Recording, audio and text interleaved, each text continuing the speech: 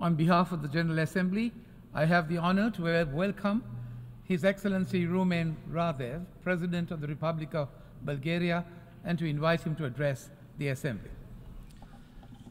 Mr. President, Excellencies, I'm deeply honored to address this prestigious auditorium. I do believe that our commitment will lead us to the answers of the pressing challenges the humanity is facing today. Today we live in a world of increasing risks and uncertainty. The resurrected ghost of self-destruction as a result of the full-scale war in Europe is a nightmare that my generation wrongly believed to be bygone phase in human history. War, conflicts, and terror challenge the future of our civilization. So do the higher level of socio-economic distress, the growing food insecurity, the disruption of chains of supply, and the rise of the inflation rates started during the COVID-19 disaster. After the weakening of the pandemic, the hopes for rearranging the broken societal and economic links brought some optimism. But then the war in Ukraine blazed out. It exacerbated all these crises of various kinds and destroyed not only thousands of human lives, but also the optimism that we are able to build back better. The systematic erosion of democracy and human rights and the rise of authoritarianism are completing the picture. The consensus that the humanity may live according to the rules of internationally adopted world order is blatantly violated. These rules that have been forged in this green marble UN hall are now vehemently contested. All these negative developments are about to distract our attention from the challenges that may turn to be equally deadly for the humanity. The triple planetary crisis of climate change, biodiversity loss, and pollution threatens the life on our planet. All these risks and challenges must be addressed in full consciousness that the future of our civilization is at stake. The first mission that the leaders must see as their historical vocation at this crossroad for the humanity is to rebuild trust in multilateralism and to uphold the rules-based international order. This order must serve to the firm will of the peoples to live in peace. This is the fundamental precondition to survive and to embark on the path of building prosperity. Restoring peace and security is our most pressing priority. It has been 19 months since a permanent member of the Security Council unleashed a war of aggression against its neighboring country, violating the principles of the UN Charter and international law. From the first day, Bulgaria strongly condemns the aggression of the Russian Federation against Ukraine. Every day of this war threatens the global peace and security. Moreover, it has turned into a war of attrition, challenging the economic and social development worldwide. The last events show an increasing risk of spillover in the Black Sea region, affecting countries neighboring Ukraine. An important priority of the 7th, 8th session should be to find modalities that may pave a way towards restoring the peace in Ukraine. What we need is stronger political will, diplomacy, and active talks about comprehensive, just, and sustainable peace based on the internationally recognized UN's chapters. Bulgaria is deeply concerned by the decision of the Russian Federation to withdraw from the Black Sea Grain Initiative. The bombing of the Ukrainian harbor infrastructure and the restriction of navigation in the Black Sea leads to further escalation of global food insecurity, especially in the global south, where the price of the war is particularly high. Ladies and gentlemen, the maintenance of the international peace and security faces challenges all over the world. The attention is to Ukraine because this conflict has a growing potential to turn into global.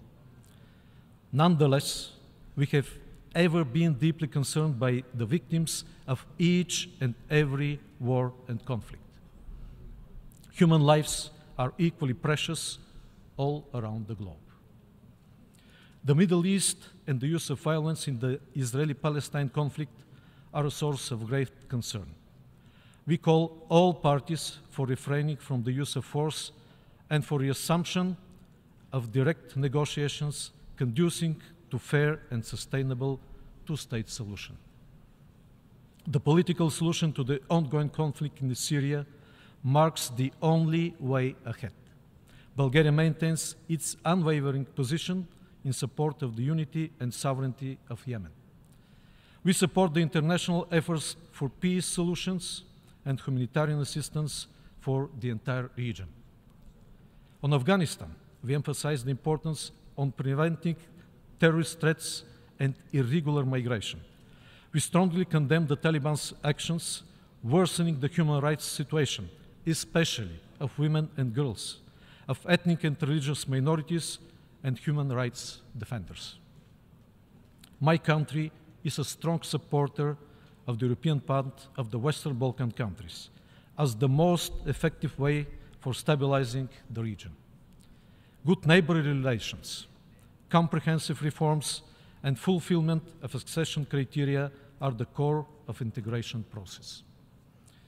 Bulgaria is a staunch supporter of further strengthening the global nuclear disarmament and non-proliferation architecture. We call for dialogue among nuclear weapon states on confidence building. Russia's suspension of its participation in the New START Treaty is a cause of great concern. Its intention to deploy nuclear weapons in Belarus undermines the strategic stability and the overall security architecture. We call on Russia to prove its commitment to the January 2022 joint statement on preventing nuclear war and avoiding arms races. We call on Iran to come back to its obligations under the Joint Comprehensive Plan of Action and DPRK to stop challenging the international non-proliferation agreements. Ladies and gentlemen, the SDG Summit is a vital opportunity to get the implementation of the 2030 Agenda back on track. Access to financing and strong partnerships between the United Nations and international financial institutions is a key to achieving sustainable development.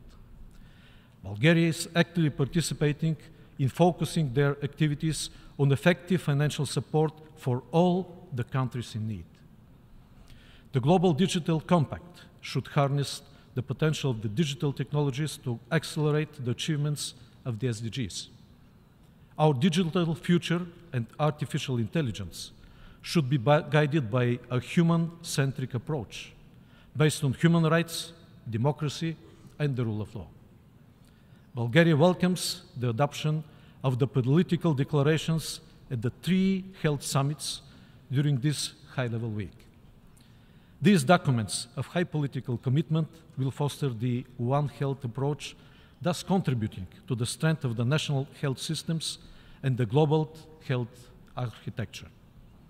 The COVID-19 pandemic resulted in a setback in the realization of the 2030 Agenda, especially in education. We support the vision of the Secretary General for the creation of learning societies, for recognizing education and lifelong learning as a public good. And we stand ready to deliver on the commitments made at the 2022 Transforming Education Summit. Excellencies, these days we spoke a lot about peace among nations, but we need as well making peace with the nature. Climate change is a threat multiplier and mitigating it is essential. Decisive climate action is a pressing global imperative and a test for the ability of the multilateral system to respond. Urgent action is crucial to halt and reverse biodiversity loss. Bulgaria welcomes the recently established Global Biodiversity Framework Fund and the adoption of the agreement under the UN Convention on the Law of the Sea. Sustainable water management is critical to the achievement of the entire 2030 agenda. This year, we celebrate the 75th anniversary of the Universal Declaration on Human Rights.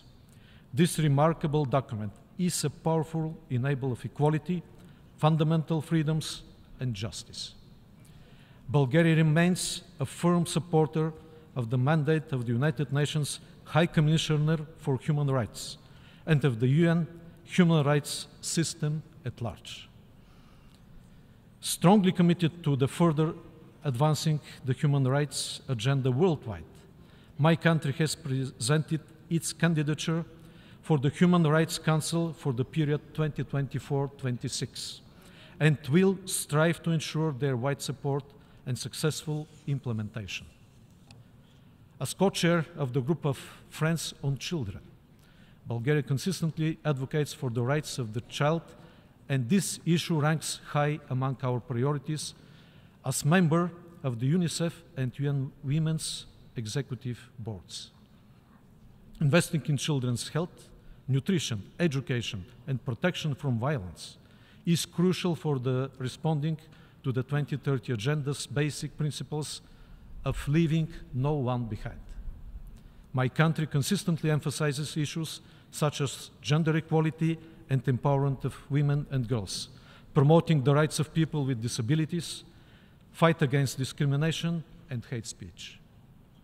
This year, Bulgaria also commemorated 80th anniversary of the rescue of the entire Jewish population of my country, counting 50,000 people during the Second World War. This remarkable episode of our modern history inspires us to continue efforts to affirm tolerance and understanding as core values of modern democracy. Excellencies, taking into account the increasing challenges to the fundamental principles enshrined in the UN Charter, Bulgaria welcomes efforts towards increasing transparency and accountability of the Security Council, and is among the co-sponsors of the landmark UNGA resolution on the use of the veto. While the veto initiative empowers further the General Assembly, the real reform of the Security Council remains a difficult and sensitive issue. Bulgaria would like to see the Council being more effective in the performance of its primary responsibility, allocating at least one additional non-permanent seat for the group of Eastern European states in the future reformed Security Council remains priority. Thank you for your attention. On behalf of the Assembly, I wish to thank the President of the Republic of Bulgaria for the statement just made, and I request protocol to escort His Excellency. The Assembly will hear